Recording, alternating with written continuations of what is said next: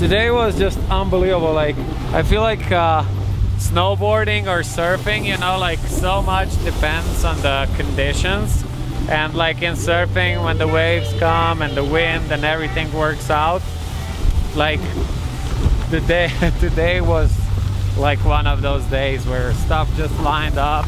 We had powder in the morning then we did some park runs in the day. Uh, and yeah it was the best day so far. It was insane. Love it. Look how nice it is. So beautiful